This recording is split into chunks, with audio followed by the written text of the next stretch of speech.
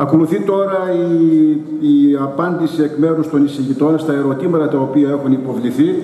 Έχουν υποβληθεί αρκετά ερωτήματα.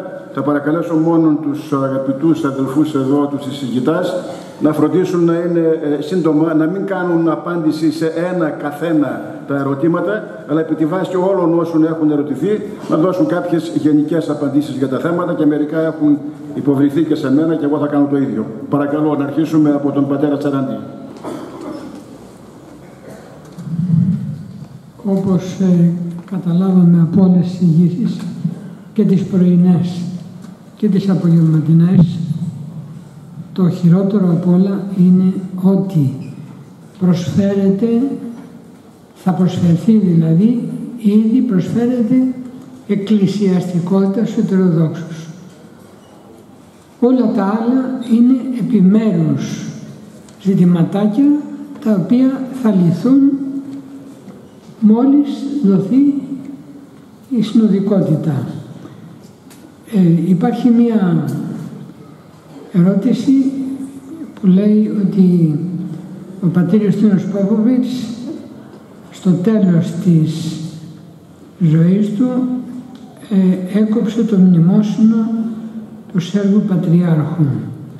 Αυτό προσωπικά δεν το ξέρω, γνωρίζω όμως ότι δύο φορές το χρόνο η μία Χριστούγεννα η Πάσχα πήγαινε, φιλούσε το χέρι του Πατριάρχου για να δείξει ότι δεν είναι εκτός Εκκλησίας, δεν αφίσταται, αλλά κατά τα άλλα δεν είχε προσωπική επικοινωνία, δεν είχε στενό σύνδεσμο με τον Πατριάρχη, αντιδρώντας βέβαια στην σύμπραξή του, του Πατριάρχου, με το κομμουνιστικό καθεστώς.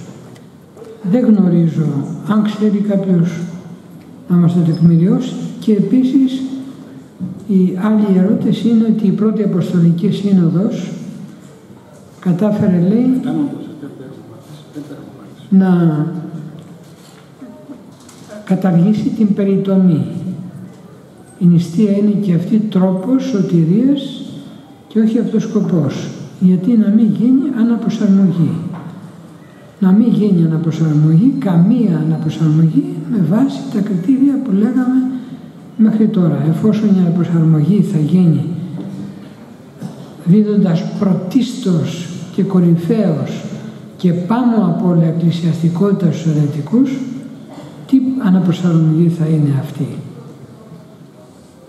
Γιατί στην πράξη η Εκκλησία μας έχει την οικονομία και οικονομεί όλους τους ανθρώπους και επομένως δεν χρειάζεται κάτι άλλο να γίνει. Ευχαριστούμε, Βατισάντη.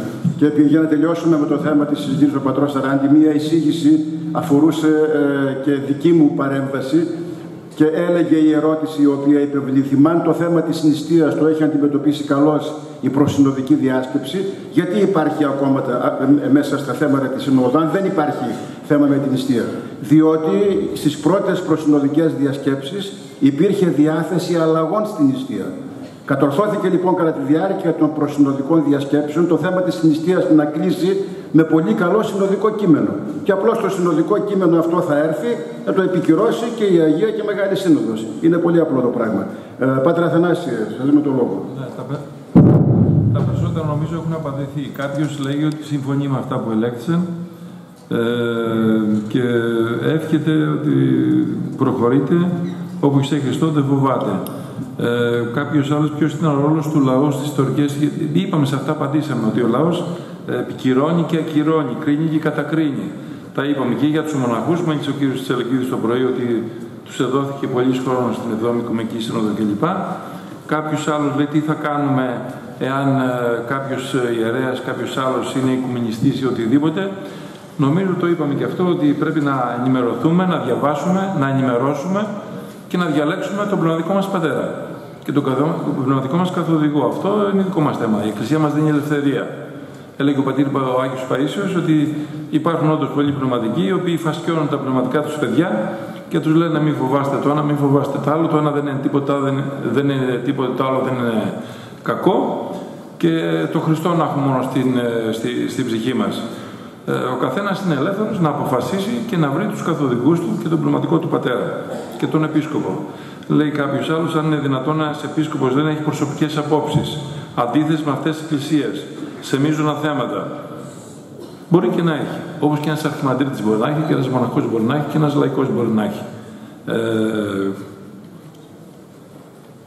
αφού είπαμε ότι πολλές φορές ότι οι εκπρόσωποι της Εκκλησίας μας εκφέρουν προσωπικές γνώμες στους διαλόγους και, ε, και δεν ενημερώνουν και την Εκκλησία και δεν παίρνουν γραμμή από την Εκκλησία και δεν παίρνουν και τη διαγνώμη της Συνόδου να τη μεταφέρουν. Αυτά είπαμε όλα νομίζω, αυτά τα περισσότερα έχουμε εξηγήσει. Κάποιος πάλι για, τις, ε, ε, για την αποτύχηση, το απέντησε και ο πατήρ Θεόδωρος και ο πατήρ Γεώργιος ο Μεταλλινός και ο κύριος Τσελεγκίδης, ότι είμαστε μέσα στην Εκκλησία.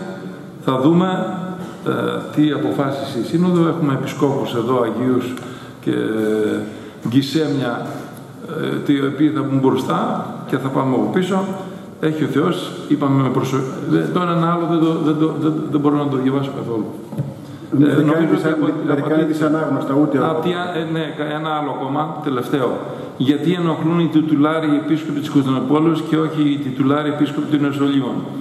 Ε, εγώ θα σας πω, ίσως δεν θα το προσέξετε, ο Άγιος Πόποβιτς λέει «Η τόσον επιμόνος επιβάλλουσα εαυτήν εις όλα σχεδόν τα σπονορδόξης συνελεύεις αποτελείται κυρίως εκ του, ε, του Πατριαρχείου, εκ του, ε, του τιτουλαρίου Μητροπολιτών και Βοηθών Επισκόπων. Γιατί αυτή είναι το επισκοπικό κέντρο, που είπαμε και κατεστημένο, που καθοδηγούν όλες αυτές τις ε, όλα αυτά τα θέματα τα οικουμενιστικά. Ε, άλλωστε ο πατήρ και λέει όλες οι απολελειμμένες, ε, για ό, μιλάει για όλες τις απολελειμμένες ε, χειροτονίες. Μάλιστα λέει παρακάτω ότι ένας ε, τιτουλάρος δεν μπορεί να κάνει χειροτονία χωρίς την ε, έγκριση του επισκόπου που έχει πίμνιο και άλλωστε πάλι το είπαμε στην ομιλία ότι ο, ο επίσκοπος μεταφέρει τη γνώμη του ποιμνίου του και γενικά τα πολλά πίμια την γνώμη της Εκκλησίας. Αυτά δεν Ευχαριστούμε Πάτερ Αθανάσης. Πάτερ Πέτρε, έχετε και εσείς μερικά ερωτήματα. Έχω μία ερώτηση γενικά για την πρακτική που κάναμε εμείς οι ίδιοι Ορθόδοξοι στην, στο βάπτισμα. Τι κάναμε οι ιερείς και ότι έχουμε σε φύγει από την ορθή ε, ορθό τρόπο της βαπτίσεως και πράγματι ε, η θεολογία μας και η πρακτική πάνε μαζί, όταν φεύγουμε στην πράξη θα φύγουμε και θεολογικά. Ε, μια ιστορία για να περιγράφει αυτή την αλήθεια. Ε, ήμουν ε, κάπου στη Σερβία, σε ένα μοναστήρι, κατέβηκα μετά την ακολουθία πανηγύρι ήταν και δεξιά ήταν μια ομάδα Ορθοδόξων αρχαιρέων και μάλιστα ε, σπουδαίοι θεολόγοι και αριστερά μου 10 μέτρα ήταν μια ομάδα πιστών με όλα τα ρούχα τους, μάλλον κατοικουμένων και υπήρχε ένας ιερέας και τους βάπτισε εντός εισαγωγικά με λίγο νερό στο κεφάλι όρθιοι γύρω γύρω από ένα δέντρο. Και πραγματικά στο εξωτερικό, στη Σερβία και στην Ρωσία ιδιαίτερα έχουμε το μεγάλο πρόβλημα ότι έχουν υιοθετήσει όχι μόνο την θεολογία των Λατίνων, γιατί αυτό έγινε επίσης στην Ρωσία, ότι έχουμε μια δυτικοποίηση της θεολογίας μας. Όλοι το ξέρουν οι θεολόγοι τι έχει πει ο Φλωρόφσκι για την δυτική ακμαλωσία της θεολογίας μας, αλλά σπάνια το λένε για το θέμα του βαπτίσματος και της, και της ε, ε, αποδοχή των, ε, αποδοχή των heterodόξων. ο Φθορόφσκι που το έλεγε αυτά δυστυχώς δεν δέχεται και δεν δέχονται πολλοί θεολόγοι των Ορθοδόξων στην Παρίσι, στην Αγγλία, στην Αμερική και στην Ρωσία δεν δέχονται την γραμμή και την εξήγηση των κολυβάδων του Αγίου Νικοδήμου, απορρίπτουν καν την ιδέα ότι η οικονομία μπορεί να είναι εξήγηση της πρακτικής μας όσον αφορά την αποδοχή των αιρετικών. Και άρα καταλήγουν όπως ο Κάλλης του Σουέρ καταλήγουν ότι αφού δεν τους βαπτίζουμε και στους κανόνες της αρχαίας εκκλησίας υπάρχουν εξαιρέσεις που δεν τους βαπτίζουν τους αιρετικούς μόνο με κρίσμα τους δέχονται άρα αναγνωρίζουν καθ' αυτό το βάπτισμα βλέπετε η απόρρεψη όπως είπε μέσα στην εισήγηση ότι δεν δέχονται και δεν καταλαβαίνουν τι θα πει οικονομία και εκρίβεια στην Εκκλησία, δεν υπάρχει άλλος οδός παρά να καταλήγει στην εκκλησιολογία των, της Βατικανής, της Δεύτερης Βατικανής Συνόδου. Δεν υπάρχει άλλη λύση. Γι' αυτό όλοι οι δικοί μας δυτικοποιημένοι θεολόγοι ε, δεν έχουν κανένα πρόβλημα να υιοθετούν την εκκλησιολογία της Δεύτερης Βατικανής Συνόδου. Δεν τους φαίνεται ε, περίεργο. Ε, και αυτό δεν είναι μόνο ότι είναι οικουμενιστέ, είναι ότι μέσα στην ιστορία μας και ιδιαίτερα στην, ε, στην περίοδο μετά το Πέτρο του Μεγάλου στην Οσία υιοθετήθηκε η λατινική μετασχισματική αντίληψη περί των μυστηρίων των ετεροδόξων και μετά στην πράξη υιοθετήθηκε πώς βατίζουν ακόμα οι Λατίνοι. Και έχουμε ένα τεράστιο πρόβλημα γι' αυτό δεν, δεν ε, ε, μπορεί να μην πιάνουν πολύ στο εξωτερικό και στις άλλες χώρες το πρόβλημα της αναγνωρίσεως της εκκλησιαστικότητας μπορεί να μην πιάνουν και να μην καταλαβαίνουν γιατί εμείς είμαστε εδώ σήμερα και, και επιμέναμε ότι δεν μπορεί να γίνει αυτή την αναγνώριση γιατί υπάρχει μέσα στην ιστορία τους και μάλλον υπάρχουν θεολόγοι της Ρωσικής Εκκλησίας που μου λένε γιατί μιλάω μαζί τους ότι δεν είναι ξένη θέση, είναι δική μας η Β' Βατικανή Συνόδο Κρυζολογία. Και είναι μεγάλο, τεράστιο πρόβλημα. Άρα ε, αυτοί που προσπαθούν, που είναι ελάχιστοι, να διορθώσουν και να γυρίζουν στην ορθή, ε, το ορθό τύπο του βαπτίσματος μέσα στην Ορθόδοξη Εκκλησία, δεν μιλάμε για εκτός, μέσα στην Εκκλησία, είναι απαραίτητο. Άρα εδώ στην Ελλάδα όταν πας και βλέπεις μία βάπτιση σε 20-30 λεπτά και το παιδί δεν μπαίνει στο νερό, βεβαίως έχει σχέση με την ερετική εκκλησιολογία που προσπαθούν να περάσουν σήμερα.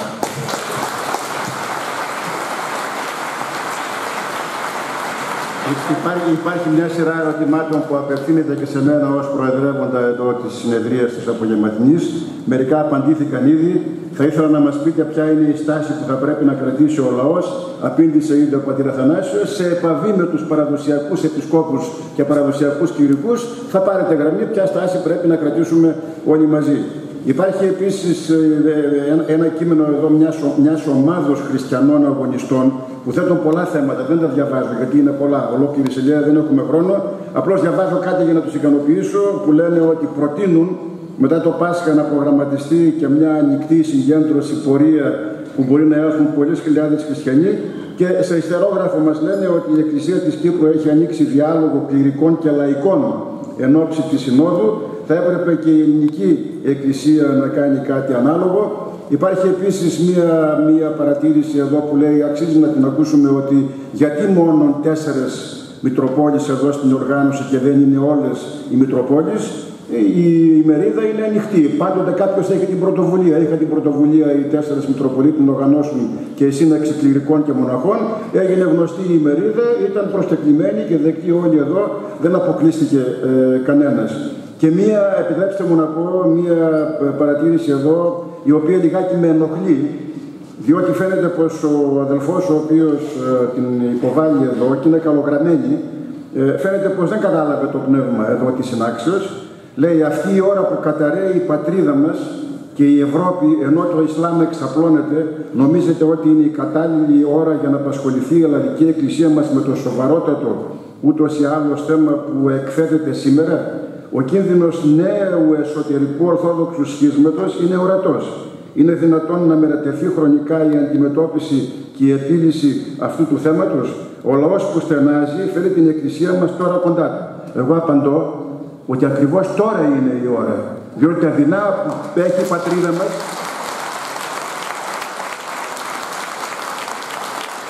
Τα δεινά που έχει η πατρίδα μας οφείλονται σε αυτή την αποστασία. Αν εμείς δείξουμε εδώ την Ορθοδοξία στην πίστη μας, θα βοηθήσει και ο Θεός. Και παρακαλώ τον αδελφό με πολύ αγάπη το λέω, να σκέφτεται ορθόδοξα και όχι μόνο πατριωτικά και όχι μόνο κοσμικά. Είναι κοσμικός τρόπος σκέψεως αυτός. Δεν είναι ορθόδοξος τρόπος σκέψεως.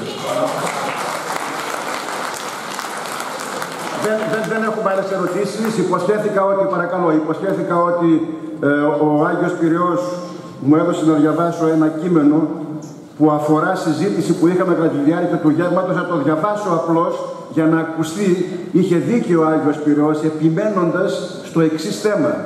Ακούσατε εδώ πολλές φορές ότι η σύνοδος η οποία θα συνέλθει έχει αποφασίσει οι αποφάσεις να λαμβάνονται εν ομοφωνία και ότι αν και μία εκκλησία δώσει αρνητική ψήφο σημαίνει πως το θέμα δεν θα προχωρήσει βάσει του κανονισμού της Συνόδου και είμαστε ήσυχοι όλοι και λέμε ότι α, εντάξει, στο θέμα σχέσης της Ορθοδόξου Εκκλησίας προς τους Ετεροδόξους, αν βρεθεί μία εκκλησία, ας πούμε η Εκκλησία της Γεωργίας, η Εκκλησία της Βουλγαρίας, η Εκκλησία της Ελλάδος και διαφωνήσει, δεν θα προχωρήσει το θέμα αυτό. Δεν είναι έτσι. Υπάρχουν μεθοδεύσεις οι οποίοι προσπαθούν αυτήν την ομοφωνία του κανονισμού των εργασιών της Βουλής να την ξεπεράσουν διότι ο Οικουμενικός Πατριάρχης ενεθυμεί το πολύ καλά ο Μητροπολίτης Πυραιός σε εισήγηση που έκανε τον προκαθημένο τον Ιανουάριο λέει τα εξής για να τα ακούσουν όλοι. Αυτό ότι μεθοδεύεται πλέον ξεπέρασμα αυτής της δυνατότητας. Λέει λοιπόν τέλος καθίσταται αναγκαίων όπως διευκρινιστεί ένα ζήτημα το οποίο προέκυψε καθημάσα προσδοκίτως προσδοκίτως λόγω του ότι υπάρχουν αντιδράσεις. Είτε το ερώτημα περί του ακριβούς νοήματος του όρου ομοφωνία, consensus, την οποία απεδέχθημε ως τρόπον λήψεως αποφάσεων τόσο κατά την προετοιμασία όσο και κατά τις εργασίες της Αγίας και Μεγάλης Συνόδου. Ενώ το απεδέχθησαν όλοι. Λέει όμως τώρα, επί του θέματος τούτου δέον να διευκρινιστώσει τα ακόλουθα ζητήματα και το ανατρέπει τώρα. Ακούστε λοιπόν. Πρώτον, η έννοια της ομοφωνίας ως κονσένσους και όχι ως unanimity ομοψυχία έχει διεθνώς την έννοια ότι εάν μία ή περισσότερη αντιπροσωπεία διαφωνήσουν προς μία συγκεκριμένη πρόταση και διατυπώσουν ιδίαντη αυτήν δέον να καταβληθεί προσπάθεια αποδοχής της υπό των αντιπροσωπιών τούτων γνώμης ή προτάσεως. Θα κάνουν προσπάθεια, αν η Εκκλησία της Ελλάδος ή η Εκκλησία της Γεωργίας, να ξεπεραστεί αυτό. Εις περίπτωση όμως η ανατροπή. Δέστε δηλαδή πως, πως οι ίδιοι πάντοτε από πάνω.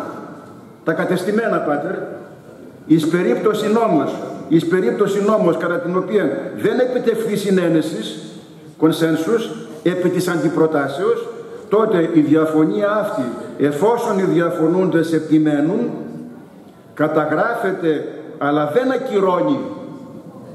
Την προσύνη υπήρξε η διαφωνία αρχική θέση και οι διαφωνούντες υπογράφουν το αρχικό κείμενο καταγράφοντας εάν θέλουν την διαφωνία των. Εάν υπάρξει, ακούστε, εάν υπάρξει άρνηση υπογραφής του κειμένου, τούτο θα εσήμενε αρνησικυρίαν βέτο, πράγμα το οποίο θα οδήγησε αδιέξοδον. Πού είναι η ομοφωνία. Λοιπόν, είχε δίκαιο ο Άγιος Πυριός που υπεθύμιζε τι. Ε, δεν χρειάζεται Άγιο Πυριός. Το ξέρω, το ξέρω, το είδα. Το είδα. Και, και συνεχίζει το κείμενο. Δεύτερο ζήτημα το οποίο δεν να διευκρινιστεί είναι εάν η ομοφωνία αναφέρεται εις τους παρόντας κατά της εργασίας ενός σώματος ή απαιτεί την φυσική παρουσία όλων των μελών του σώματος. Εάν αποδεχθούμε το δεύτερο, ότι πρέπει να είναι όλα τα μέλη του σώματος, τότε η τυχόν απουσία ή η θελημένη και ο σκόπιμος απουσία τεινών εκ των μελών θα οδήγει εις διάλυση της εργασίας του σώματος επί επικλήση της ελλείψεως ομοφωνίας. Το πρώτο εκ των οσάνων ζητημάτων προέκυψε κατά τις εργασίες της πρέμπτης προσυνοδικής διασκέψεως καθήν δύο αντιπροσωπείες ειρνήθησαν να υπογράψουν κοινών κείμενο. Και καλά έκανε. Επί το λόγο ότι οι εθέσεις των εκκλησιών των δεν έγιναν δεκτές υπό πάντων των μελών της διασκέψεως και ούτως ευρισκόμεθα προαδιεξόδου ως προς την προετοιμασία της Συνόδου εφόσον εν εκ των βασικών κειμένων αυτής παραμένει ανυπόγραφων υπότινων εκ των αντιπροσώπων. Επειδή λοιπόν υπάρχει περίπτωση μερικές αντιπροσωπείες να μην υπογράψουν, το καταργεί, καταργεί την ομοφωνία ουσιαστικώς. Ο Πατριάρχης αυτό για τη συζήτηση για αυτούς οι οποίοι έλεγαν πως δεν ανατρέπεται η ομοφωνία. Ανατρέπεται και η ομοφωνία. Βεβαίως. Ε, λοιπόν, ε, για... μισό λεπτό κάτι. Ναι. Ε, γι' αυτό είπαμε ποτέ να μην γίνει αυτή η σύνοδος και θα ήθελα μια, μια πρόταση ε, να μην πάει καθόλου η Εκκλησία της Ελλάδος.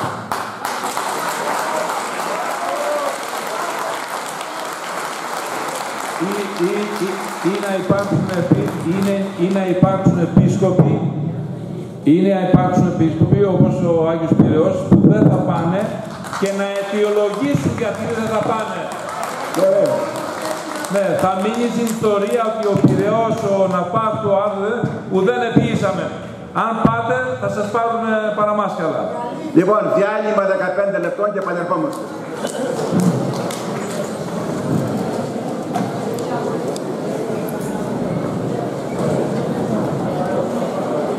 Αδελφέ,